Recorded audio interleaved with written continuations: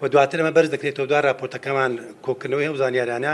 بۆ هەیە سەرۆکاتی پەرلەمان دواتر بۆ حکومت بۆ ئەو کەلانانی ئەو کەنالانەی کە لە دەستمانە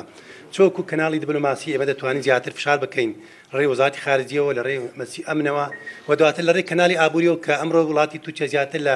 چەندین میلیارد دلار ئاریگۆری بازرگانی هەیە بۆی ئەمەی کە لەسە هەرێمی کوردستان لە شاری دهۆکەوە هەولێر و و دوازاری سلێمانی دیێگەی قبولکردنیە هەم پێشارکردنی سیادی عێراقا و پێشکردنی پێشەرکردنی خاک و خەچی کوردستان بە بەردەوامی